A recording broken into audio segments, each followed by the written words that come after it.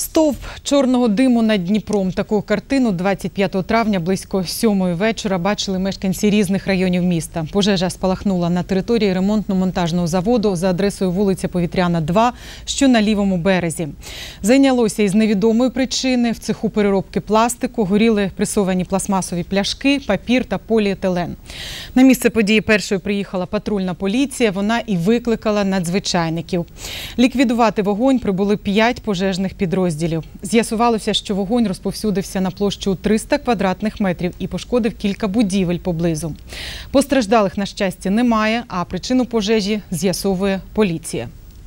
Э, Трудность была в том, что на момент прибытия подразделения самого пожара под самой, скажем так, вот этими отходами проходили линии высоковольтных передач. Значит, э, языки пламени уже зализывали саму линию, поэтому тушение было, в общем-то, усложнено.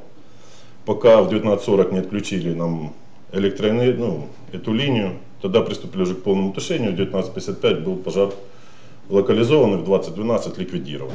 Всего принимало участие 25 человек, ну и 5 единиц техники.